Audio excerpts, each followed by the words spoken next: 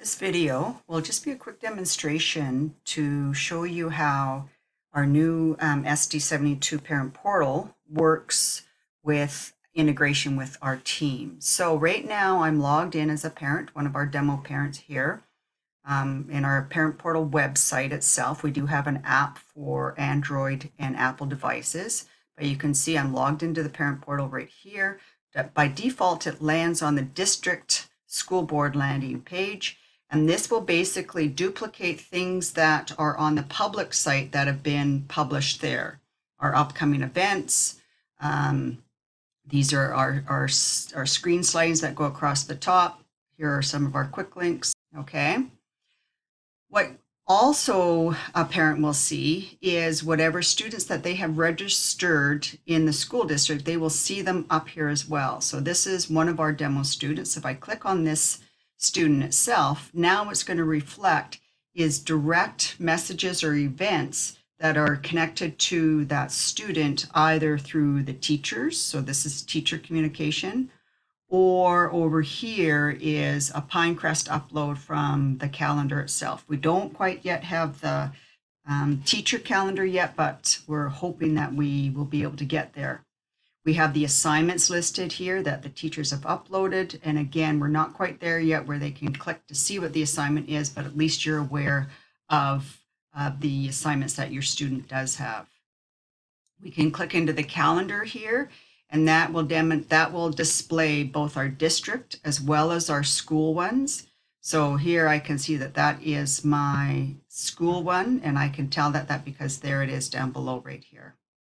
If I click on that, I have included a link and an attachment that um, the parents will be able to access as well. Here's the attachment, so you can attach, you know, if it's a hot lunch, you can do a hot lunch order form. Um, here's my permission form and then a link. You can also put a description of what uh, you want the parents to know more information about that specific event. I can also um, take a look at student details that we have exported from MyEd. And now this isn't 100% complete yet. We are getting there, but this is just our demo site. So we can look at um, the demographics um, right down into information about the student themselves. There's our PIN number, which is really going to be valuable um, in the long run. And then we can look at um, the contact information. Now, this can't be changed online here, but at least we can see, the parents can see the different contact information. We can also look at the attendance. So right here, we see that this student, if I drill right down, um, was away September 16th for the AM and for the 15th for the AM itself. The next exciting thing is the reporting. We don't have anything listed here yet, but what you will see is you will see um, the marks, the comments, and the work habits for each of the course listed here for each of the reporting periods.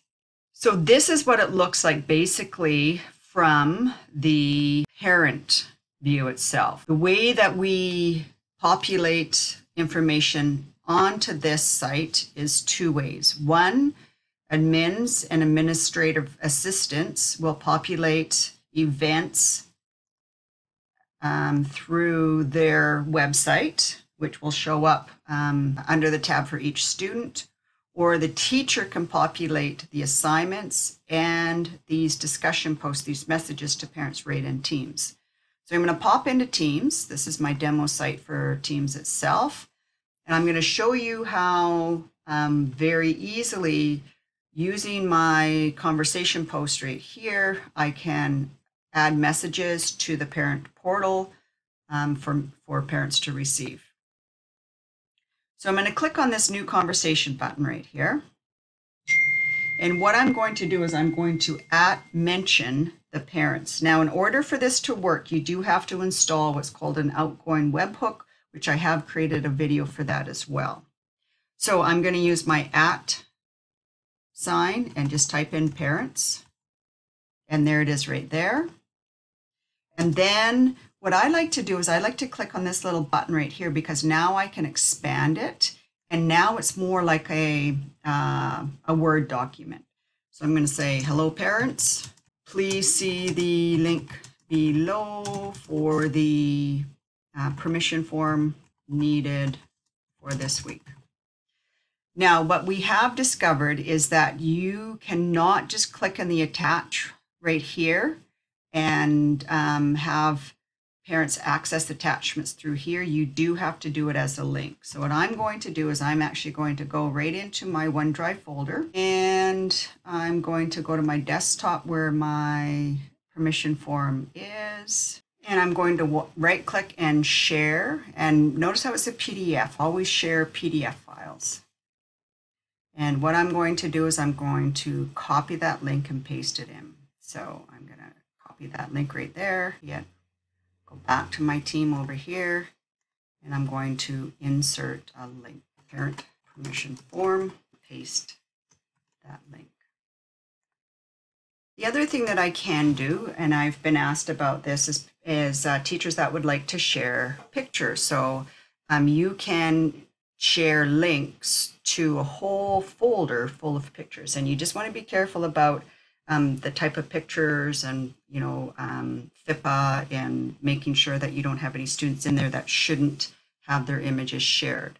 So I'm going to do the same thing. I'm going to go back over to my um, OneDrive. And on my OneDrive, I have a folder full of pictures right here, flower pics.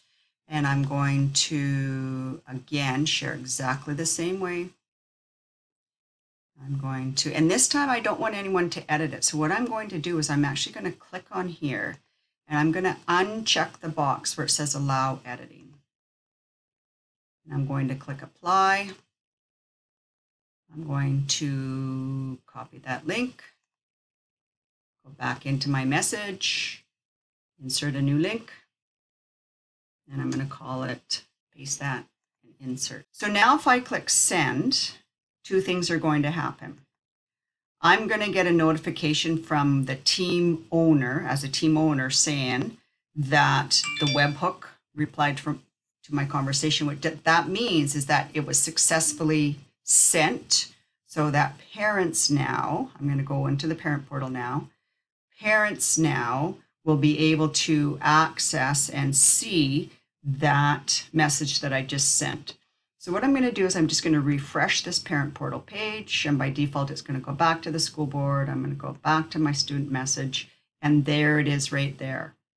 Now this is on the website. Parents actually receive a little notification on their phone if they have downloaded the parent portal app onto their own phone to see this post. So what I can do now is I can click on my parent permission form and I can also click on the flower picture app.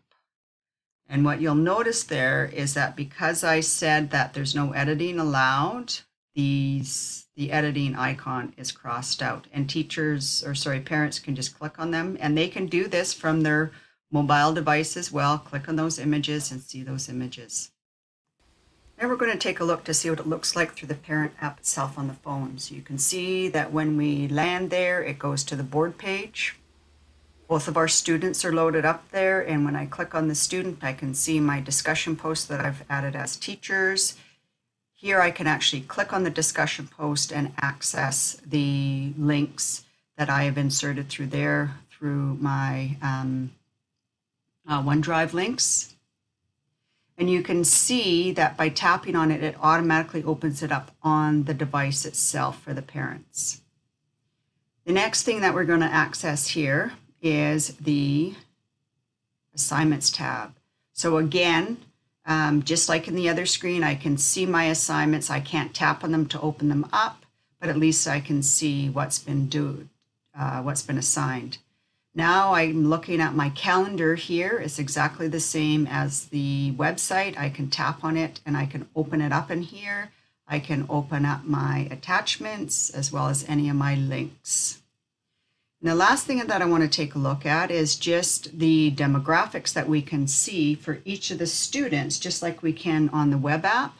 Um, tapping there will give the personal information. It will give the school information.